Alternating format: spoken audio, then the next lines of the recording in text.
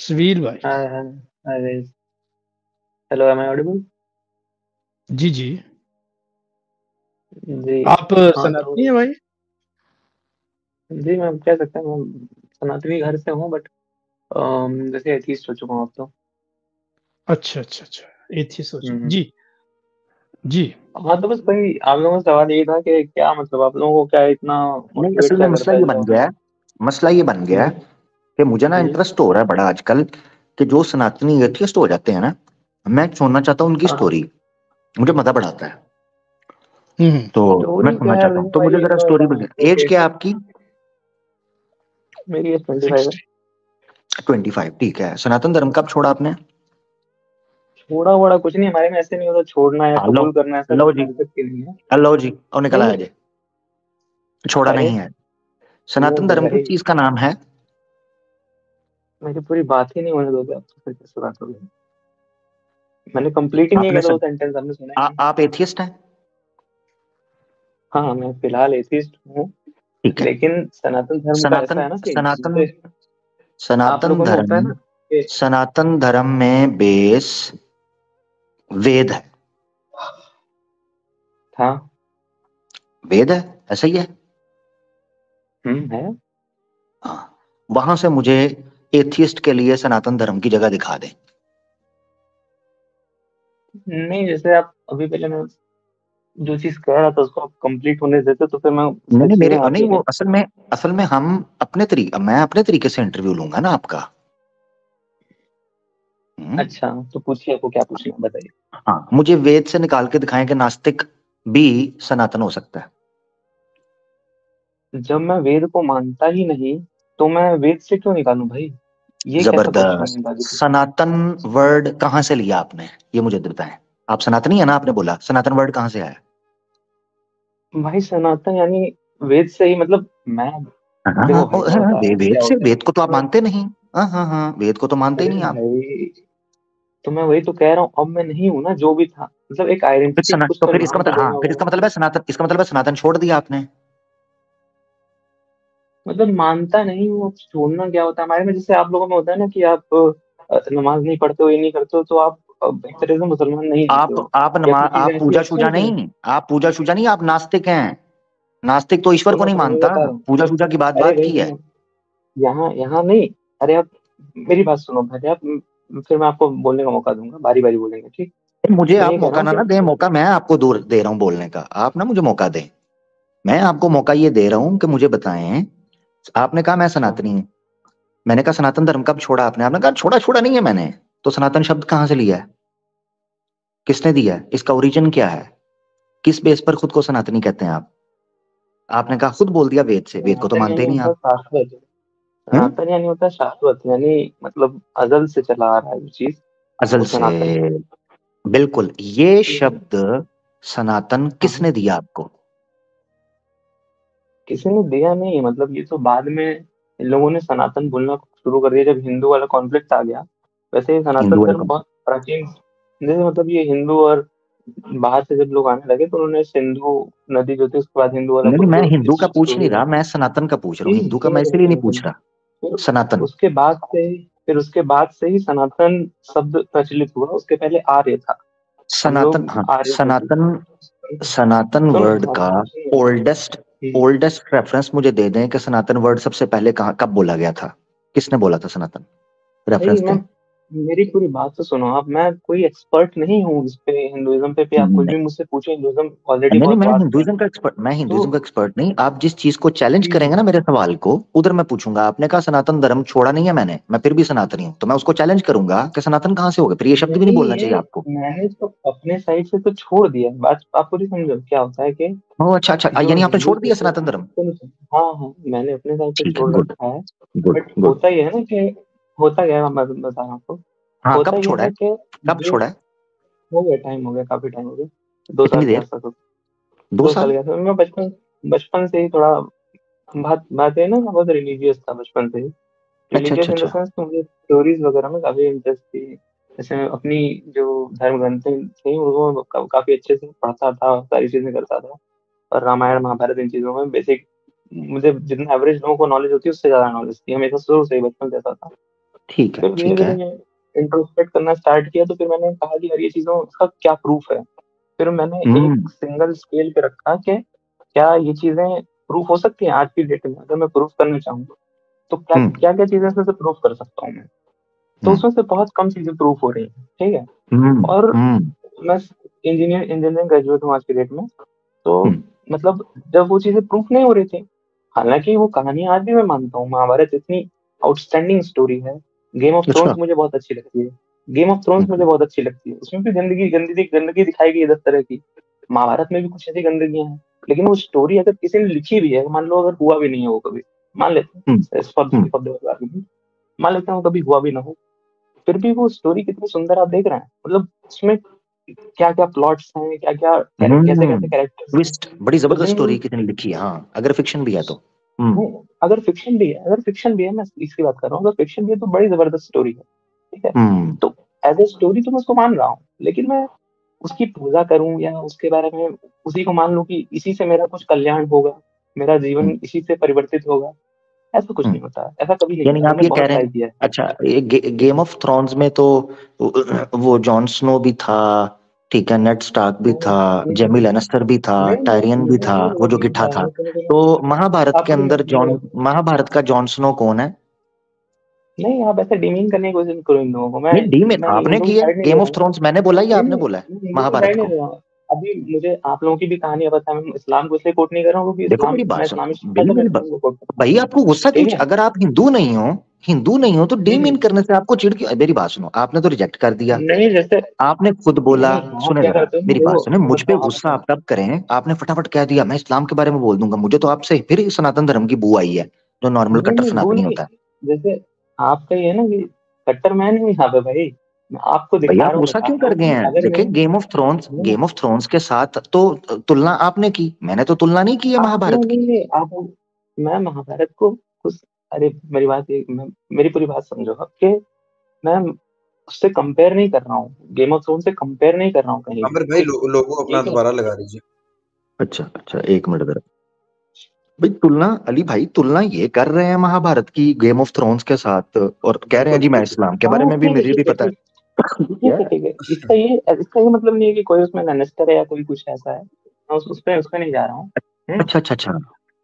ठीक है यानी उसमें कोई लैनिस्टर या कोई स्टार्क फैमिली या टरगैरियन उसमें कोई नहीं है? उसके अलग कैरेक्टर्स है ना भाई तो वो उस पे नहीं जाते।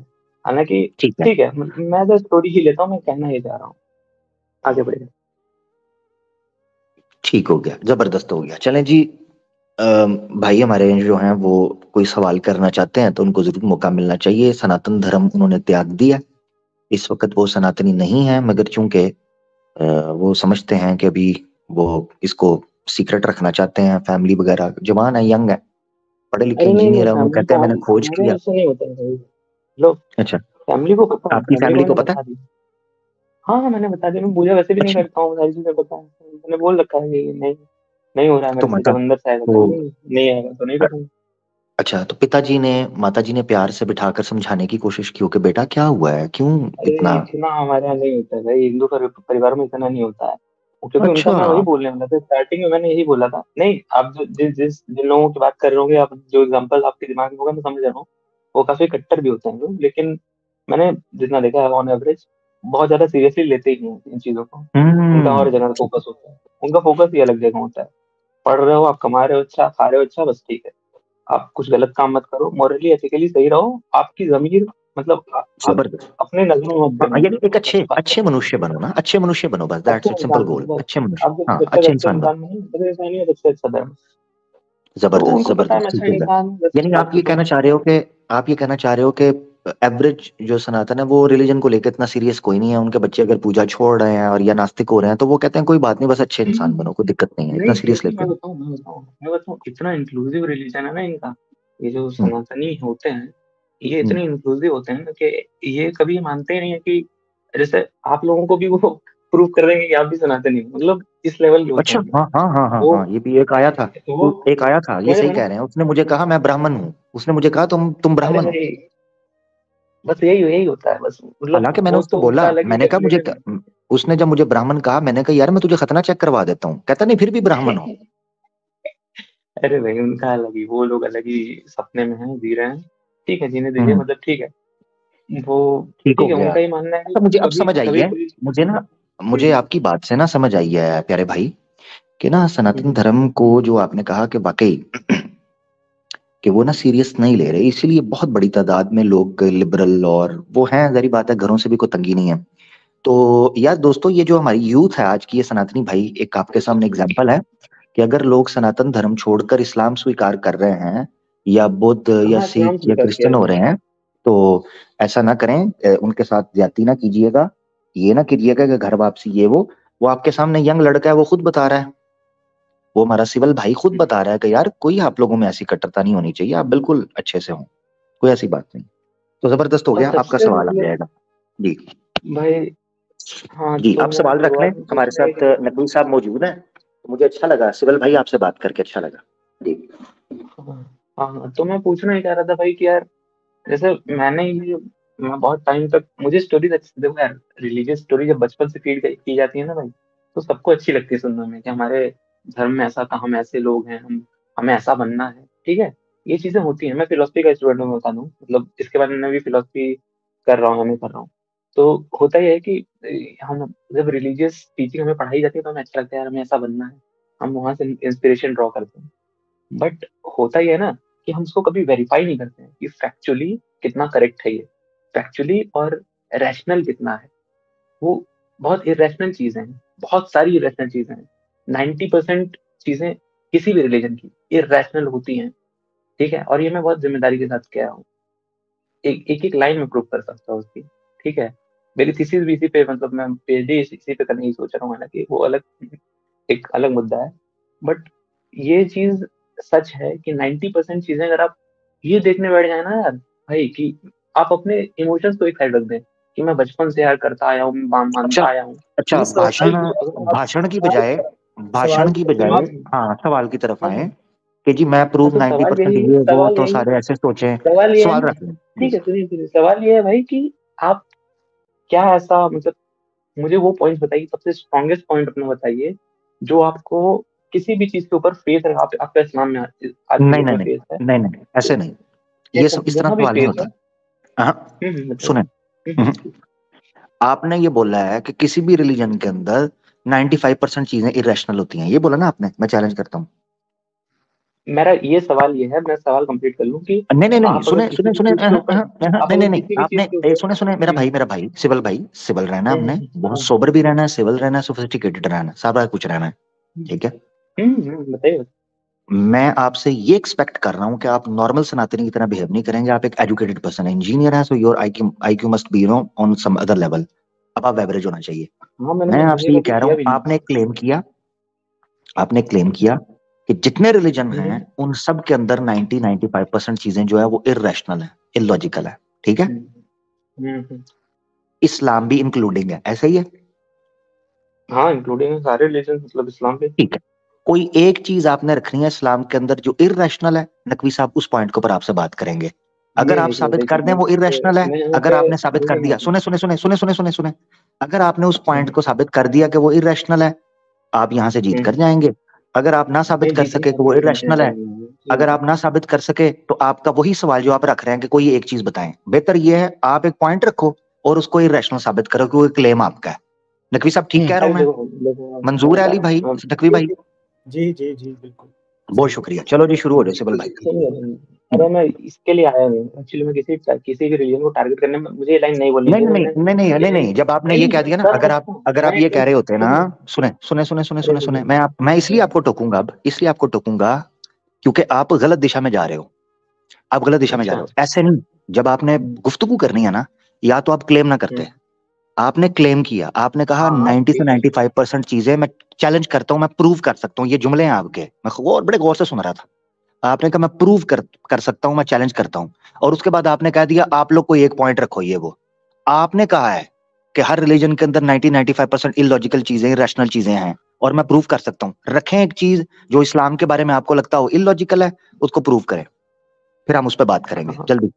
और टारगेट आपने शुरू कर दिया हुआ है जब आपने सब रिलीजन के बारे में बोला तो इसलिए ये ना हमारे साथ कहें मैं टारगेट नहीं करना चाहता। ठीक ठीक है ठीक है। नहीं भाई अरे जब सबकी बात कर रहा हूँ तो मैं टारगेट कैसे कर रहा हूँ? आप मतलब नहीं नहीं नहीं मैं टारगेट से मेरा मैं ओहो बुरा बुरा मत समझिएगा सिविल भाई श्रीमन श्रीमन मेरे प्यारे भाई बुरा मत जानिएगा।